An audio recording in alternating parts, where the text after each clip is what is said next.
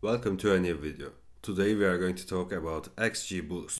We will start with basics and base model, then I will show you how you can do hyperparameter tuning for optimizing the performance of the model. By the end of this video, you will have a solid understanding of how to use XGBoost for both classification and regression tasks. First things first, let's talk about gradient boosting. It's an ensemble learning method where we train weak learners and then combine them to make a strong learner.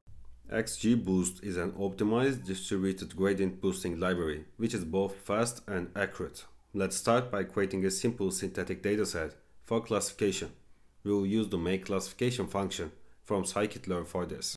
We will say from sklearn.datasets import make classification and we will also import train test split from here sklearn.model selection import train test split and we are going to import numpy as np here. So after the import we are going to set x and y. We will use make classification method. Number of samples is going to be a thousand and we will say number of features is going to be 20 and let's also make train test split after this we will check the x and y here. Let's check y also. So now we can split our data as train and test. We will say x train x test y train and y test. We will say train test split x y and let's set the test size as 0.2 also we need a sign here right there Great. We have just generated a dataset with 1000 samples and 20 features. We also split the data into training and testing sets using an 80 to 20 split. 20% of the data is going to be in the test set and 80% is going to be in the training set. Now let's go ahead and create our XGBoost classifier model. We will say import XGBoost as xgboost here xgb we will say classifier. We will use xgboost dot xgboost classifier. And we are going to fit this into our data. We will use the training data for this fitting operation. And we will evaluate our model on the testing set. We have just fitted our xgboost classifier on the training data it's that simple but what about its performance Let's evaluate it on the test set. We will import accuracy score from sklearn.metrics. We will import accuracy score. We will set y predictions and we will use classifier.predict. We will predict the x test accuracy is going to be accuracy score y test and values which we predicted with using x test here. And let's print the accuracy as accuracy. I'm using an f string here so I can just say accuracy here. And now here is our accuracy. Actually it's quite high for a random generated dataset but since we have like 20 features I think it fitted well. The accuracy tells us how well the model has learned to classify the data but what about regression problems can we use XGBoost for that the answer is yes. Let's create a synthetic regression dataset using make regression from scikit-learn. It's a similar process. This time I'm going to do it a little bit quicker. I'm not going to show x and y because you already know the logic of this. We will say x, y, also set this with capital letter. I will use make regression here, number of samples, let's say 1000 for this again and we will say number of features is going to be equal to 20 and let's set noise here. This time 0.1 noise. And we will say x train x tests y train y test. We will use train test split. We will set x y test size 0.2 similar to before we have created a dataset with 1000 samples and 20 features and split it into training and testing sets. Now let's fit an XGBoost regression model on this data. We will say regression and it's going to be equal to xgboost dot xgboost regressor then we will say that fit on training data here it is so here actually you are seeing the parameters that we can give. We are going to do a hyperparameter tuning in this video. Now we have trained our XGBoost regressor now let's avoid it using the root mean square error. We will say from sklearn.metrics import mean squared error and we will say ypred and we are going to make our predictions with x test we have. And let's set root mean squared error numpy dot square root mean squared error y test and y ypred and let's also print this we are going to use an f string here root mean squared error. Here it is. Great, you have seen how to use XGBoost for basic classification and regression now. But what if, if you want to take it a step further and optimize the model performance? That's where hyperparameter tuning comes in. Let's start by tuning the XGBoost classifier. But our XTrain, XTest, etc. is set it as regression, so I'm just going to go upper side and just run the make classification again and XTrain, XTesting again. When you do hyperparameter tuning, your model performs better, but since we didn't set any random state, this time maybe the accuracy falls, so I'm just going to run this again, and our new accuracy is 0.94, so I think we are going to get a higher score or a cool thing here with the parameter tuned version. Let's do that.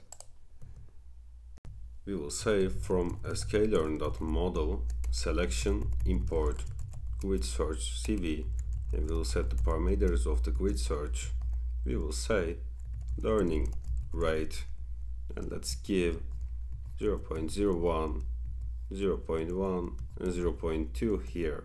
I'm not going to add a lot of values. You can add for checking more parameters. I will set the max depth as 3 4 and 5 then I'm going to say number of estimators. And I will say 50, 100 and 200. And I'm going to set the classifier as xgboost.xgboost classifier once again. Then I'm going to say grid classifier, grid search, cross validation, classifier, parameters we set. Then we will say cross validation is going to be equal to let's say 3 and scoring is going to be the accuracy